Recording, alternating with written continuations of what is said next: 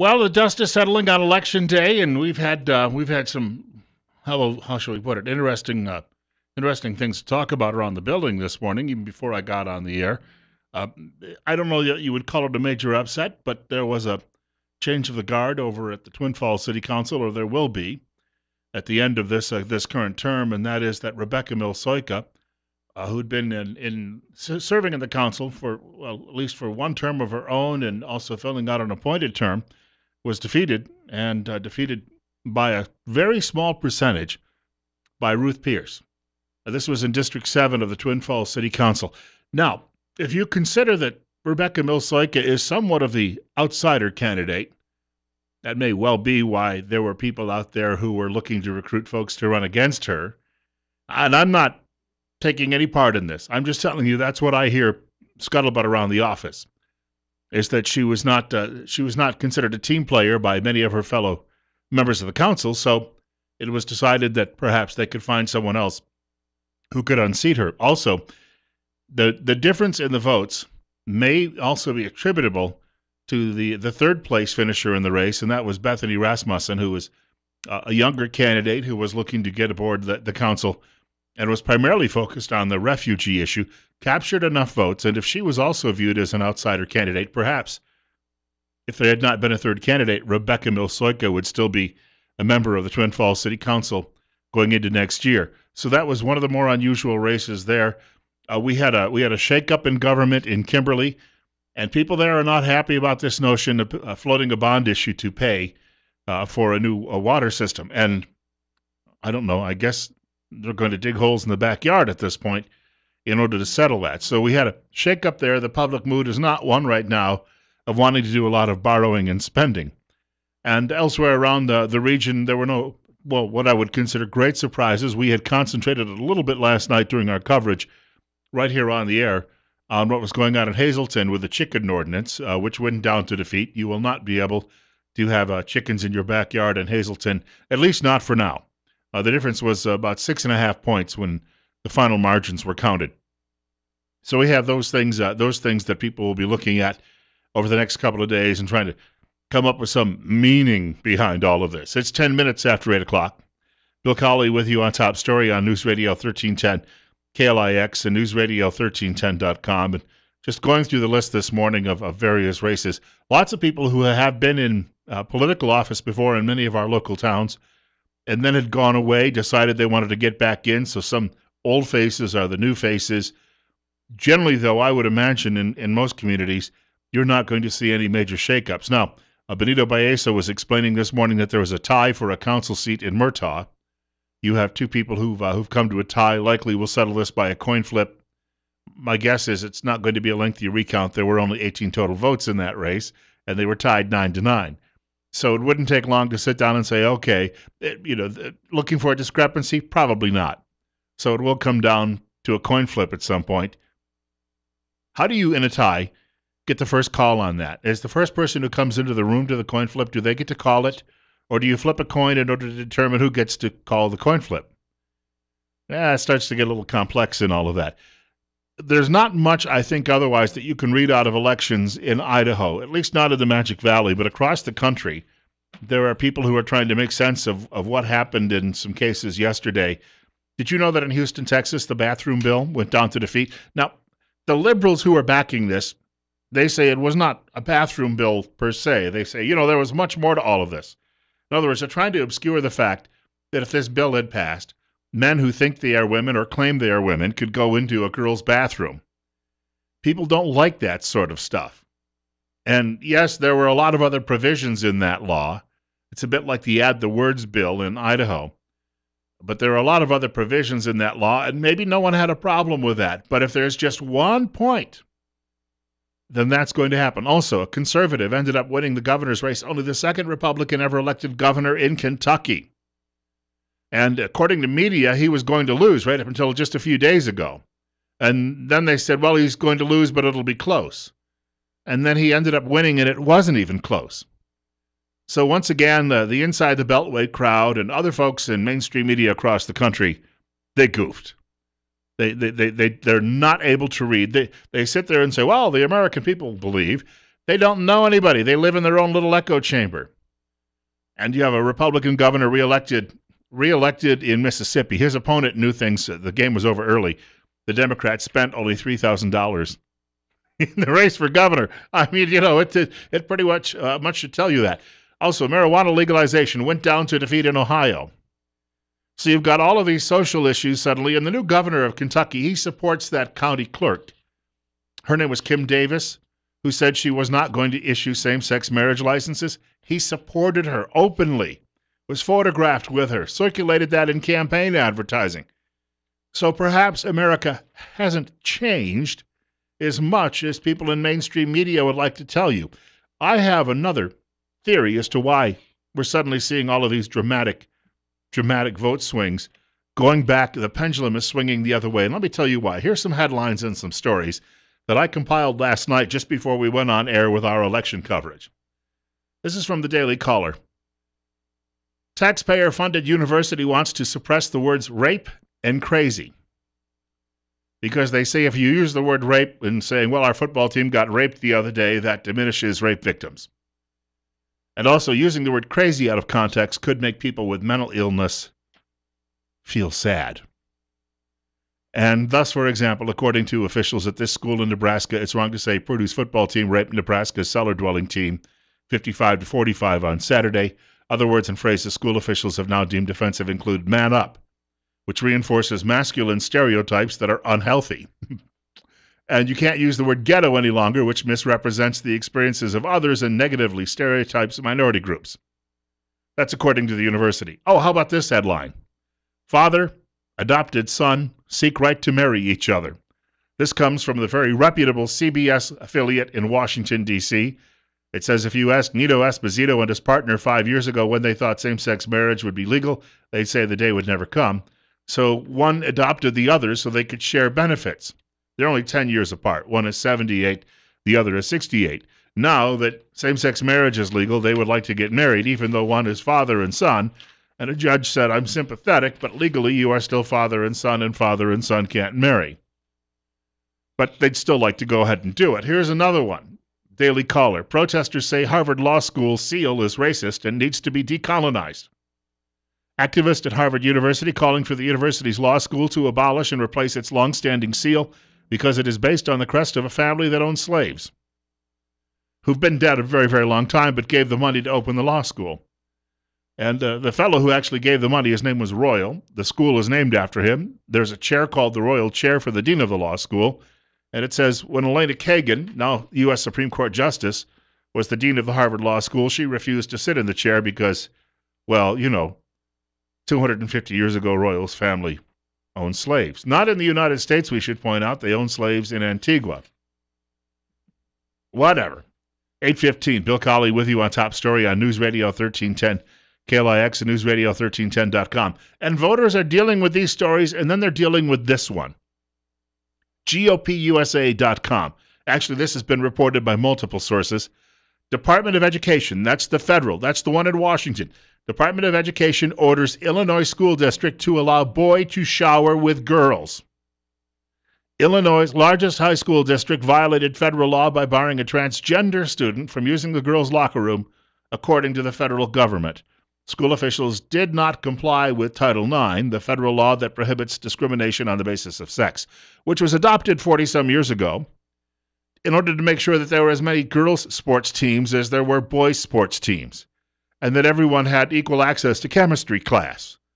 Not to share the locker rooms, my friends. So you've got this going on, talk stalled between the school and the government. When the school said, hey, you know, we offered a private bathroom to the uh, boy who thinks he's a girl. And then someone said, why, that's offensive and hurt his feelings. And now he's sad. So therefore, he gets to go shower with the girls. And so, why are people re- suddenly rejecting and, and why are we seeing the pendulum swing back the other way? Can I just put it plainly? I have just one child. I have a daughter. She's a grown up now, but I was a very protective father for a stretch when she was younger. And I'm telling you right now, even now that she's she's she's a grown up, I'm telling you right now, if she's in the shower, a public shower, or she's in a public restroom, I don't want some individual with a penis coming into that room while she's in there. Do you understand that? And I think most every father in the country feels the same way. And likely every mother in the country feels the same way. Unless you are some God-forsaken idiot liberal who seems to believe, well, hey, this will be good for everyone. That is why the pendulum is swinging. And maybe there's a lesson in next year's presidential race and national elections and elections statewide next year. And that is we can actually still focus on these things and we can draw the votes of Americans who still believe that we have a we need a little sanity in this culture. 817, Bill Colley with you on Top Story on News Radio 1310, KLIX and NewsRadio1310.com. The school superintendent of that school in Illinois was trying to explain all of this last night to Megyn Kelly. The problem is he's trying to be politically correct while he tries to explain that his parents don't want little boys going into the shower with little girls. And it's a little difficult for the superintendent to actually get the words out while he was on Fox News Channel. While we respect and honor transgender students and transgender identity, it is our responsibility to create an environment that is uh, protective and built on principles of respecting the privacy of all of our students. Okay, I get all that, but like, to, but to, I'm trying to cut mm -hmm. through sort of the academic speak and get to what specifically is it? What are you worried will happen? We believe that our accommodations provide uh, a great deal of support to our transgender students, and in our uh, plan, what we believe that we're able to work through is what uh, transgender students would request and, and uh, benefit from, honestly. They would uh, request uh, privacy themselves, and our accommodations would provide that. No, no, no, I get it that. I get that. And, we, and we've made clear the, the district tried. It tried many things. It gave her a private bathroom. Then mm -hmm. it moved that bathroom closer to the locker room, and it made it adjoining to the locker room. You allow her to play on the girls' sports teams and all the other things.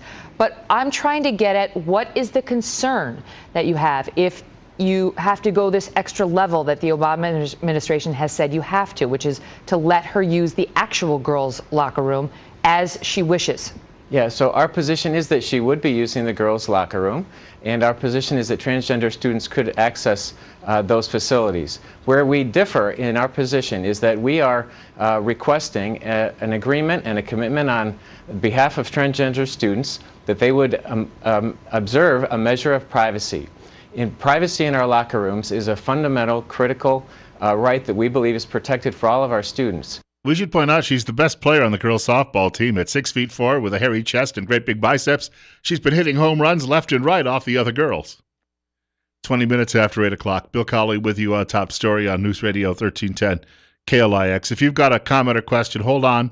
We've got a short break, but I'll be glad to take your comments on this subject and just why that we have now seen liberalism push too far and how that is going to impact next year's election rounds. That's on the way. 33. Going to be a chilly morning, but a sunny morning, which is, well, partly sunny. Nice after what we've seen the last couple of days. You know, when I was a teenager, I had no trouble figuring out what I was. They'd sit me down in algebra class next to some good looking girl, and I couldn't concentrate on Theorem 5.9. I was just completely lost looking at somebody next to me. My hormones were raging. Speaking of hormones, today we're going to be talking to representative from the office of Dr. Jonathan Tripp in about 10 minutes. We call it Better Health with Tripp Family Medicine. We do that between 8:30 and 9 o'clock on Wednesday mornings. And one of the professionals from the office will be joining us in studio. We can take your telephone calls as well. We'll discuss a little bit about what we mean when we talk about hormones and imbalances and how to bring them back into balance and the, the effect it can have on your overall well being. So that's on the way. And we do want to remind you uh, Tripp Family Medicine is located on Fillmore Street across from the main post office right here in Twin Falls. And remember as well, life's too short not to feel good. Our telephone number, if you'd like to reach the program today, uh, perhaps you have some sort of defense of boys going into the girls' shower uh, and, and you think that you know we're all being mean spirited or not. But our telephone number, if you'd like to reach the program, 736 0300. The bill that failed and by, by 25 points in Houston, Texas. A lot of people had been watching that nationally too, and, and you had a big push. The ACLU, uh, mainstream media, Hollywood actors were all getting behind this bill, saying, oh, we need to have this done. It's the right thing to do, and if you don't agree with us, you're a hater. It got so bad that the mayor a lot of pastors in town were opposed to it. The mayor then tried to seize their sermons in advance. They took the mayor to court. A judge, she, she tried to block the vote, first of all, because the council had voted in favor of it. And then when they, they got 55,000 signatures and only needed about 10,000 on a petition, she tried to block the vote, and a judge told her, hey, either the law takes effect after a vote by the public or it doesn't take effect at all. And so they got shut down. They're not happy about it, and they vow that they're going to continue to try to embarrass and humiliate people in order to go into the uh, girls' rooms, into the ladies' rooms. We've got a caller with us. You're on the air with Bill Colley on Top Story on News Radio 1310 KLIX and NewsRadio1310.com. And what's on your mind? A hypothetical. Suppose your daughter goes to uh, France and Spain, and there's everybody, there's new beaches over there, topless beaches. Are you going to get into a fight with all the people that are right there so that they won't flash anything to your daughter? Here's a hypothetical. Do you have children? Yeah. First of all, my daughter isn't going to Europe anytime soon. I don't care if she does or not. She's an adult. She can make up her own mind. But Jose there, maybe he uh, he's he, he's not too worried. Perhaps he thinks that you know he should have all sorts of little boys in uh, in what you might call in in excitement in the locker room with his little girls. Wouldn't that be fun? In fact, in Europe, speaking of Europe, which he brings that up, in some parts of Europe, you have people right now uh, in Germany. This was a sad, sad story. I saw it over the weekend.